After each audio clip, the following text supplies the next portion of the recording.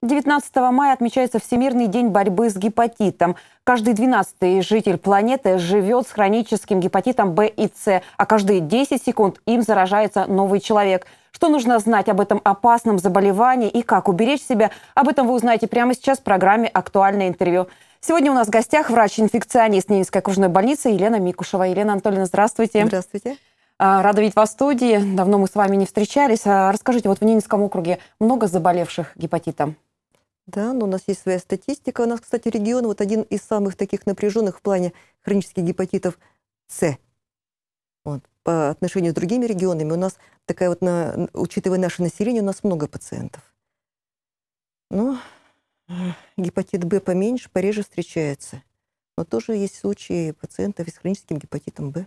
Вот считается, что гепатит – это болезнь преимущество, э, преимущественно алкоголиков и наркоманов. Так ли это? Абсолютно, абсолютно не так. Абсолютно. Это совершенно неправильное мнение. Это абсолютно неправильное мнение, потому что большая часть наших пациентов – это люди социально благополучные, совершенно э, правильные люди. Угу. И при каких условиях они заразились, очень сложно сказать, потому что в 70-80% 80 случаев мы так и не можем определить, при каких условиях произошло инфицирование. А вообще как можно заразиться тогда? Вопрос напрашивается. Ну, вот гепатиты Б и С, они тоже немножечко отличаются. Гепатит Б, он более мелкий, им заразиться проще. Он более устойчив в окружающей среде, он более мелкий. Там быстрее происходит проникновение через э, кожу поврежденную, конечно, через слизистые.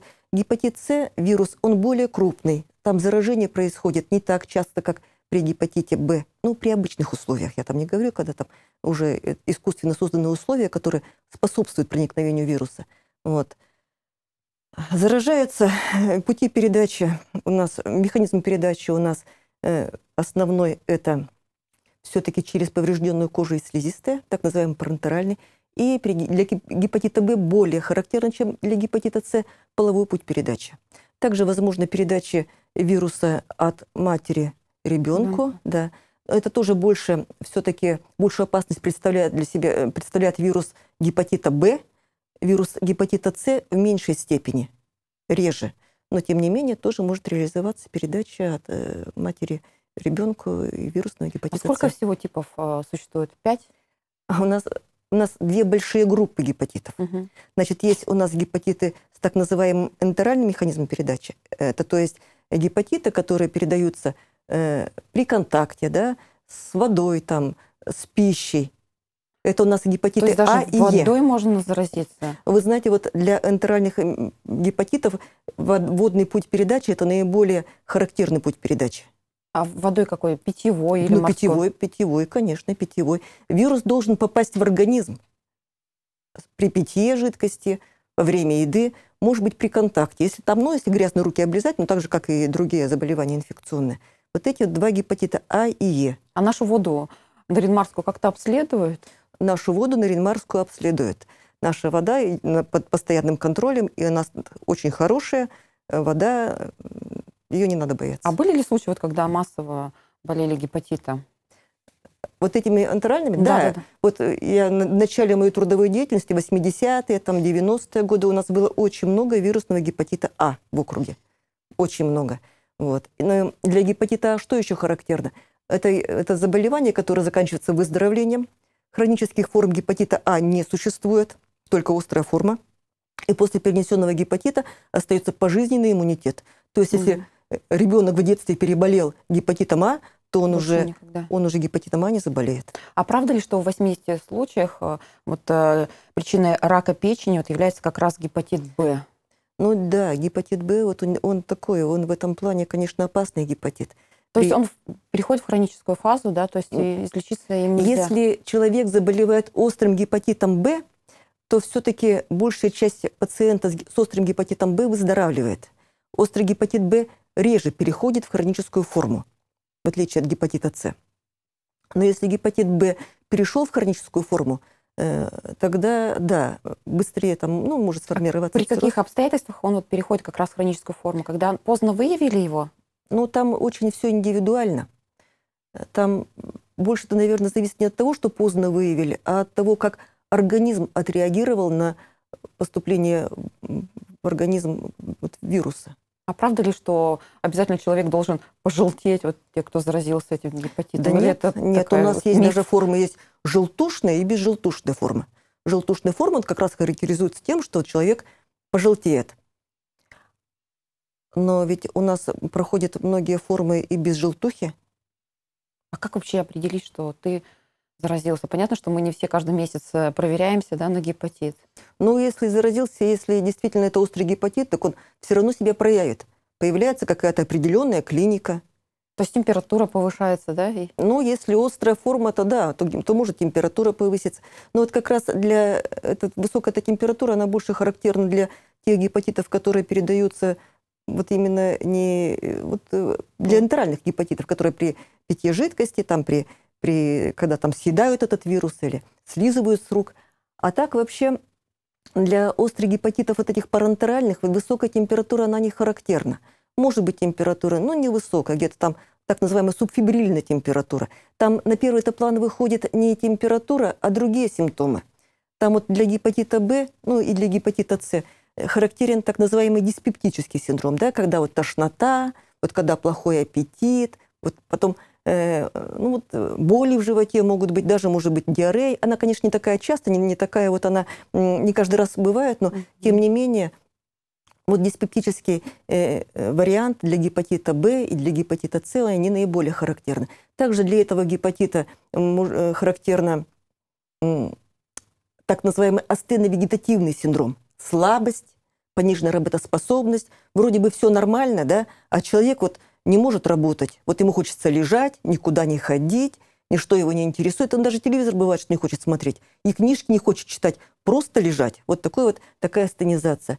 Также может быть для гепатита Б, больше для гепатита С не бывает, вот эти называемые, так называемый артрологический синдром, когда болят суставы, болят крупные суставы. Вот так гепатит Б, кстати, иногда и выявляли. Человек начинает обращаться к ревматологу да, по поводу болей в суставах. Обследуют, выявляют ну, там, повышение трансаминаз, и потом обследуют на маркеры гепатитов, и выявляется вирусный гепатит Б. А дети часто заражаются гепатитом? Понятно, что вот вы сказали, можно и руки облизать, взрослый не будет облизывать, да? Гепатитом А? Дети? Да. Вот да. когда вот у нас э, было это неблагополучно по гепатиту А, то Период. да, дети заражаются чаще, чем взрослые. Для детей чаще. Ну, ну вот гепатит А, ну, по крайней мере, он от него же выздоравливает. Мгм. Вот. А гепатит Б, вот для гепатита Б сейчас что, что сейчас хорошо? У нас сейчас прививки делают от гепатита Б. И вот когда я начинала работать в 80-е годы, у нас было много пациентов с гепатитом Б. А сейчас, когда стали делать прививки, у нас пациенты с гепатитом Б, с острым гепатитом Б, вот такие вот, когда вот были тяжелые формы, вот их, их практически не стало. А насколько вот эта вакцинация защищает? Она эффективная. Это я вижу по пациентам, по тому количеству, как вот у нас было раньше и как сейчас, у нас сейчас пациентов с гепатитом Б практически нет. Если только кто-то по какой-то причине не был привит, и то, ну, раньше, это уже взрослое поколение, уже то поколение, которое в свое время еще не прививалось. Это же ведь не так давно стали делать прививки от гепатита Б. Так что прививки от гепатита Б – это очень хорошая защита. Мгм. А что делать тем, кто вот уже приобрел да, хроническую форму? Часто им приходится обследование проходить? Но те, кто э, имеет уже заболевание хроническое, значит, они просто должны быть... Мы должны вместе работать. И мы там вместе должны решать проблемы, потому что, вот, знаете, сейчас идет вот очень такое хорошее развитие вот этой гепатологии, да, и лечения гепатитов. Сейчас появляются все новые и новые препараты для лечения гепатитов. Мгм. Вот, и вот... э, И отношение для- людей уже не такое, если я помню, что в 90-е годы это страшно было, да, услышать, что человек зар- заразился гепатитом каким-нибудь, да? Да. Да. А сейчас, а сейчас у нас есть очень эффективные таблетки от вирусного гепатита С. То есть у Ненецкого округа очень хорошая лечебная база, да? То есть у нас нет как, э, там, дефицита препаратов. Нет, ну, знаете, все не так однозначно, потому что и гепатиты С то тоже бывают разные. Гепатиты С, они там... Но лечение бесплатное, да? э, Ну, за ну, счет... ну да, да, понимаете как? У нас вот есть гепатиты, они у нас нескольких генотипов. Вообще шесть генотипов гепатита С, но на нашей территории где-то вот три основных генотипа. Первый, второй и третий. Вот. И сейчас у нас есть очень э, эффективные э, лечения для гепатита 1Б. Таблеточки, это американские таблеточки. Э, Они у нас, лечение идет по системе ОМС, то есть для пациента она бесплатная. Мы там уже решаем, там уже по нашему э, обследованию, там в течение двух или трех месяцев. И, в общем-то, мы имеем очень хорошие результаты. Ну, там выздоровление 98 до 100 процентов. Вот. А есть... вот остальные генотипы, к сожалению, таблетки есть. Вообще они уже есть. Они уже есть на территории Российской Федерации. Их привезли вот осенью прошлого года. Но пока еще у нас нет возможности лечить вот, эти, вот э, теми таблетками, потому что вот там не все у нас. Видите, система ОМС, там тоже, там это надо, чтобы все было предусмотрено, чтобы все было говорено, чтобы предусматривалась там эта оплата этого лечения, потому что Потому mm-hmm. что еще не все так быстро делается. Mm-hmm. Хочется побыстрее. Если какой-то член семьи болеет гепатитом, он опасен для остальных членов семьи? И как себя ну, там, да, если вот есть пациент, если есть член семьи с гепатитом, конечно, там надо соблюдать определенные правила. Но если, есть, если пациент, если вы член семьи с гепатитом Б, то мы знаем, да, как защититься. У нас есть эффективные прививки. Прививка защитит угу. семью. А если гепатит С, ну, видите, еще вирус гепатита С, он там вот это вот больше-то, это, конечно, пара муж, муж-жена, да, там они, хотя не так часто, как при гепатите Б, ведь получается вот передача половым путем только в пяти, максимум десяти случаев. Да? То, есть, то есть 90% случаев э, муж жену не заражает, и наоборот. Mm. Да. Это все равно не 100% идет заражение. Но, видите, все-таки один из десяти, да, есть такая возможность. Э, значит, надо вот как-то знать, надо как-то остерегаться. И вот нормальные, адекватные семьи, вот как-то у нас все вот бывает, что все хорошо проходит, тем более сейчас есть возможность вылечиться. А если женщина заразилась, она может родить здорового, здорового ребенка? Не повлияет это никак ну, на плод? Сейчас, конечно, если женщина заразилась, то, вот, наверное, если есть возможность, то ну, надо сначала вылечиться, а потом уже рожать совершенно здоровой. А если чтобы... хроническая форма? Ну, вот хроническую форму мы и лечим. Мы, мы, же, мы же таблетками этими, мы же лечим хронические формы. А если, mm. если она забеременела до лечения, то, конечно, во время беременности никто лечение проводить не будет небольшой процент передачи есть, э, все-таки есть, да. Угу. Мы вот в 100% не можем обещать, что все будет благополучно. Все-таки все-таки может произойти передача. Как пациенты реагируют? Все-таки, да, это такая неприятная болезнь. Вот и человек ведет здоровый образ жизни, да, правильный, угу. и вдруг приходит и говорит, все, у вас там гепатит С или Б. Как они реагируют? Тут все-таки ну, еще какая-то ну, психологическая Ну, конечно, люди расстраиваются. Нельзя сказать, что прямо, конечно, ну, переживают, каждый по-своему. Но мы пытаемся вот э, разговаривать, э, объяснять, пытаемся все-таки настраивать, mm-hmm. что все закончится хорошо, и при наших условиях у нас есть возможность от этого вируса избавиться. Елена Анатольевна, а какие можете дать рекомендации, вот, чтобы не заразиться? Понятно, что сто процентов.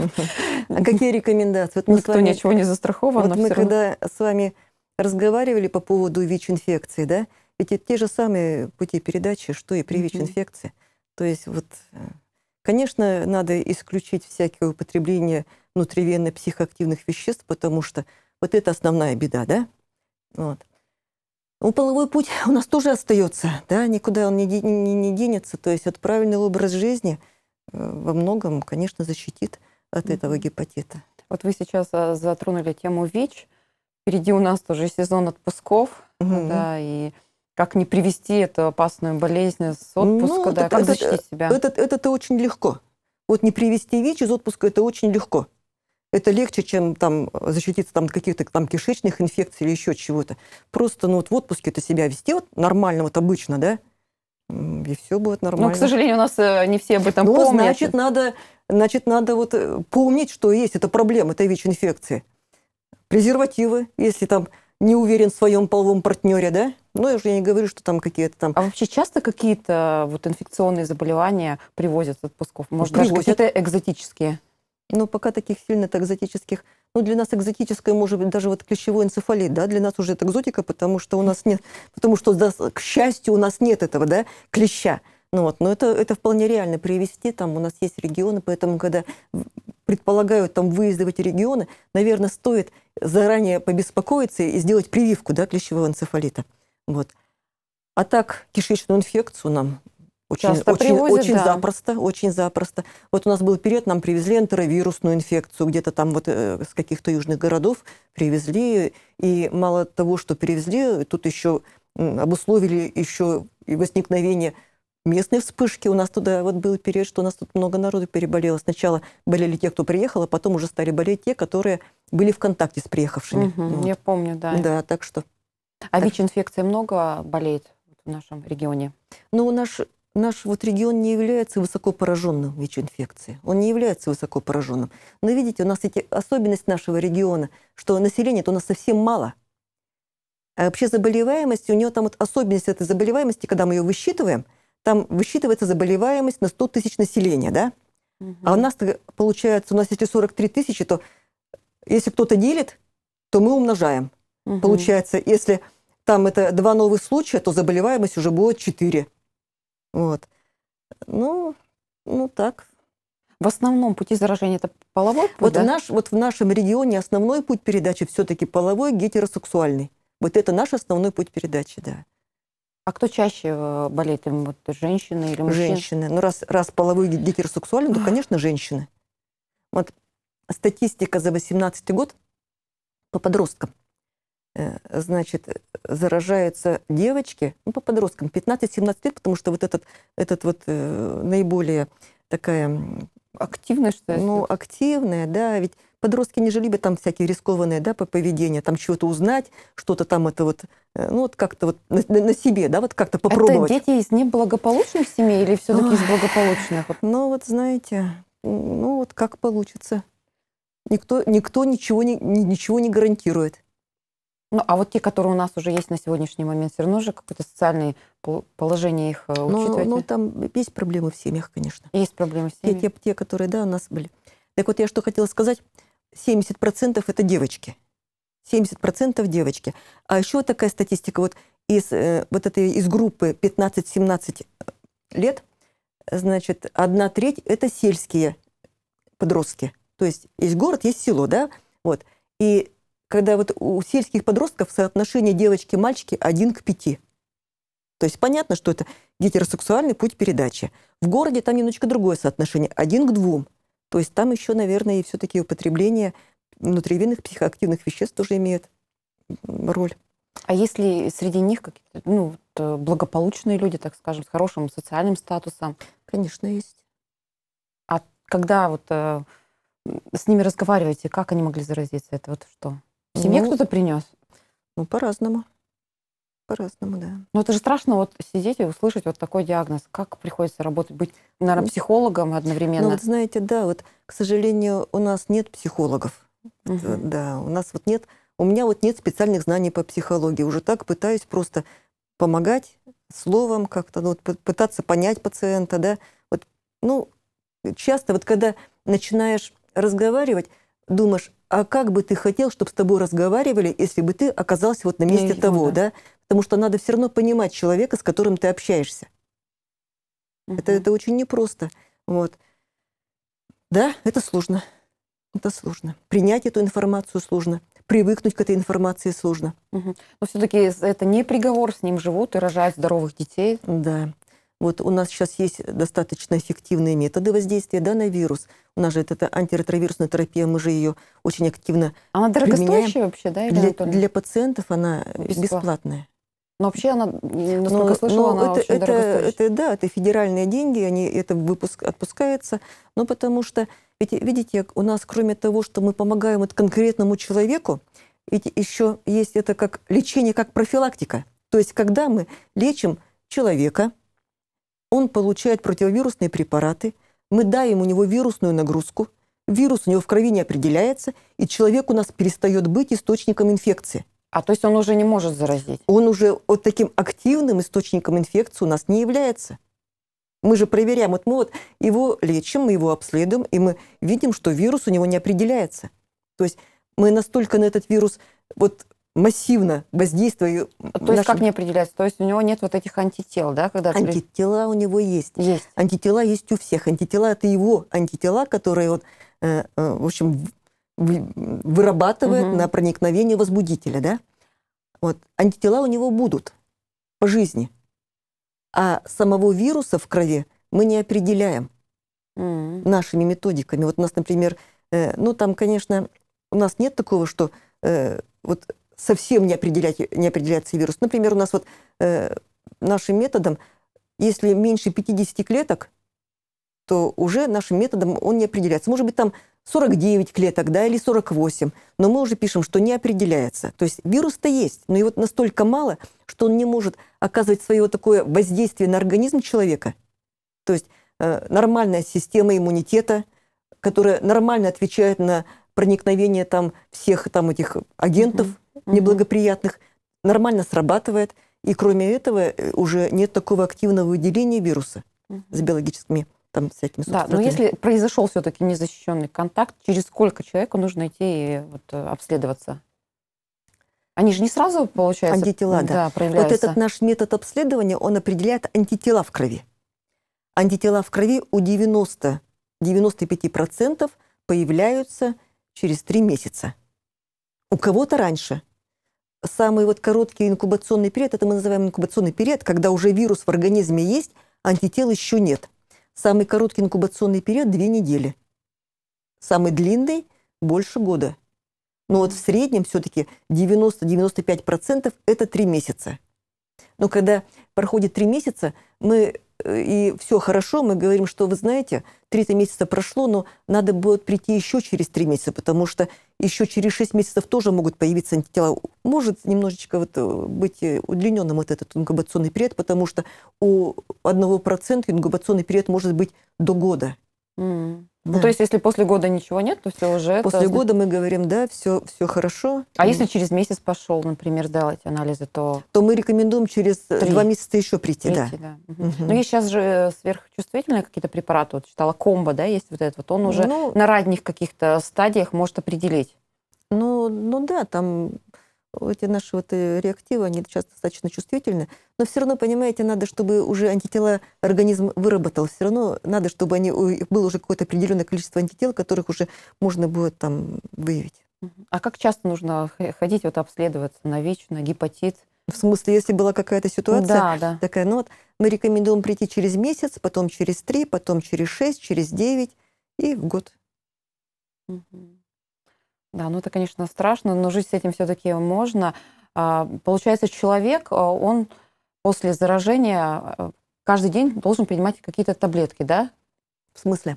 И вот при ВИЧ инфекция. А, ну вот если уже заболевание возникло, да, тогда, конечно. Тогда вот эта антиретровирусная терапия, она уже на всю оставшуюся жизнь. Да. Другое дело, что, может быть, будут формы этой терапии немножечко другие. Потому что сейчас принимать вот несколько таблеток, да, каждый день, может быть, это и тяжело. Вот стремятся создать новые формы. Например, вот инъекция, одна инъекция раз в две недели, да? Мгм. То есть и две недели человек живет, Спокойно ни о чем не думая, да. да. Ну, ну, то есть я думаю, что... А что-то есть ли надежда, будет. что все-таки придумают врачи вакцину, которая вот, ну, навсегда избавит Я не знаю, человека? каким путем, каким путем придут к лечению этого э, вируса. Я думаю, что все равно придут, потому что ну, к этому стремятся. Но ведь вы же знаете, что уже есть уже вот, э, официально вот, зарегистрирован случай, один случай излечения от ВИЧ-инфекции. Так называемый лондонский пациент. Вы Нет, я не слышали? слышала, да. Не, ну это, это есть а такая. чего? Методом терапии это что было сделано? У Или- нас 2% населения, вот на европейской части нашего, нашего материка, имеют э, защиту от ВИЧа вот уже вот в своем организме. М. 2% при естественных условиях у нас ВИЧом не заразится. Вот есть такая особенность защиты. Это у них иммунитет тогда Это не иммунитет, это особенность, м, особенности клеток. Я не знаю, конечно, это, это так достаточно все сложно. Попытаться объяснить. Да. М, Просто, ну, знаете, я ну, читала я- такую я думаю, что противоречивую им- информацию, что якобы вот нас все пугает э, вот этим ВИЧом, но его не существует. Не, ну это уже, вот мы, давайте не будем Да, про, про диссидентов, уже, мы да. даже говорить не Мгм, будем, потому мгм. что я не знаю, что в головах у этих людей, почему они так говорят, и вообще на, на на основании чего они это говорят. Это, конечно, это все неправильно, и это диссидентство, это, с этим надо как-то бороться, потому что не все хорошо. Когда Мгм. люди умирают из-за того, что пре- прекращают принимать препараты, да, мало того, что сами умирают, детей не лечат, и потом и дети- Конечно, дети да. погибают. Поэтому с этим надо как-то там что-то делать. Я думаю, что с этим уже, наверное, скоро Ну да, б- займется- большой прорыв медицины в том, что сейчас вот э, ВИЧ-инфицированная женщина может родить здорового ребенка. Да, да, конечно, и мы к этому стремимся. У нас есть эм, профилактика. У нас профилактика эм, три этапа. То есть женщины получают во время беременности противовирусные препараты, те, которые не противопоказаны при беременности, да, у которых нет такого действия Мгм. на, на плод. Потом у нас проходит профилактики в родах, и ребенок после родов через 6 часов тоже начинает получать препараты. В течение четырех недель ребенок препараты получает, в течение года или полутора лет, ну там уже смотрим по результатам обследования, мы ребенка наблюдаем, и вот если этот срок проходит, если мы все-таки уверены, что ребенок не заразился, мы его снимаем с учета. Мгм. Лена Анатольевна, ну, как я уже сказала, впереди сезон отпусков. Вот как себя обезопасить от других инфекционных заболеваний? Вот других какие- инфекционных заболеваний. Да. Но там главное, чтобы, э, если поедете отдыхать, надо смотреть, где отдыхаете, да, чтобы там все в окружении, чтобы все было благополучно. Да. Мгм. И все-таки опасность там всяких кишечных инфекций, она существует. Поэтому, значит, надо смотреть, где живешь, с водой аккуратно, что ешь, что пьешь, где отдыхаешь, какое окружение. Это вот надо, если еще мама есть с ребенком, вот это надо вот еще в сто раз Конечно. э, быть вот осторожнее. Многие едут да, в какие-то экзотические страны, но у нас же нет прививок, и никто не делает, да, чтобы защитить вот именно от тех инфекций, которые там существуют, да. там, на этом континенте. Да, конечно, и быть стоит им- ли вот э, ехать тогда? Ну вот знаете, вот, вот проблема малярии, да, и знаете, Да. ведь у нас ведь э, малярия, она, она есть, и, в общем-то, э, меньше-то ее не становится. И вот не, не в этом, а в прошлом году вот, э, было даже два летальных исхода не у нас, в стране. Мгм. Вот именно э, От дети- малярии, нет, взрослые, Взрослые. взрослые, да, посетили вот это А в чем она ГУА. проезжается, малярия? Малярия? Да. Ну, это малярия, это когда заражаются от комаров, при, при укусе комара развивается температура, там, ну, там определенная клиника, вот, и надо вовремя, надо вовремя вот этот диагноз поставить, и надо назначить вовремя эффективные препараты, препараты специфические при малярии. Они могут не быть вообще, да, в каких-то... Они могут не быть. Они могут не быть, потому что вот сейчас с препаратами, которые раньше закупались, они там... Сейчас у нас есть проблемы с препаратами Ну, есть же рекомендации, да, вот, например, а, приходишь в турагентство, говоришь в какую-то страну, хочешь поехать, тебе дают да, список Да. прививок, какие Да, должны быть. да. А у нас э, ставят их э, в наших поликлиниках, и Ну, бесплатные ли они? Нет, у нас есть прививки бесплатные, а есть прививки все-таки платные. И если какие-то надо поставить прививки, которые действительно необходимы для поездки, но это, как у нас правило, забывают об этом, вот, к сожалению. сейчас. Вакцина закупается на свои деньги. Ну, там прививка, уже прививка, там не знаю, как она делается, но, по крайней мере, э, вот так вот э, бесплатно этой вакциной вас никто обеспечивать не будет, Мгм. если это не входит вот, план обязательных прививок. Да, Елена но все равно мы живем в живом так, мире, да, мы Мгм. не можем там ничего не трогать, Ну, ничего понятно. не есть, да, понятно. Но, может быть, э, стоит тогда развивать иммунитет, и что нужно для этого сделать? Ну, к- понимаете, специфический-то иммунитет сложно развивать. Э, У нас То есть ведь он как- у нас он есть, у нас есть иммунитет не специфический, специфический, да, вот у нас вот есть вот те антитела, которые у нас уже есть в организме, там, которые, ну, вот, э, мы получили от мамы, которые потом разрушаются, вот. Есть антитела, которые вырабатываются в организме в процессе жизни. Вот. Мгм. И если нет защиты от каких-то вот определенных заболеваний, только если нет иммунитета, ну, который вот такой вот специфический, да, на определенные инфекции, то сложно его развивать. У нас еще, мне кажется, проблема в Его голове надо получить. психологическая, да, вот есть некоторые люди, которые вот просто боятся, я не знаю, Чего? боятся заразиться инфекцией. У меня была такая бабушка, она протирала все вокруг себя, знаете, мыла руки 10 раз на, на дню. Что Ну, делать тогда с этим? Мне кажется, бояться не надо, то так жизнь э, Не, не ну, будет Ну, казаться понимаете, мы сказкой. же в процессе своей жизни встречаемся со всякими микробами, и вот если так это все нормально, да, вот если нормальная иммунная система, наш организм вырабатывает антитела, которые являются защитой нашего ор- организма. Мгм. Вот если вот там небольшими вот, количестве там эти антитела попадают, клиника не развивается, а антитела вырабатываются. И если в следующий раз встретиться с этим возбудителем, то уже, в общем-то, будешь защищен от данной инфекции. Мгм. Елена Анатольевна, спасибо большое, что сегодня пришли к нам в студию. Очень конструктивный диалог у нас получился, многое для себя. А Мне удалось выяснить. Приходите к нам еще. Спасибо. Напомню, это была программа «Актуальное интервью». Сегодня у нас в гостях был врач-инфекционист Ненецкой окружной больницы Елена Микушева. Будьте здоровы, встретимся в эфире.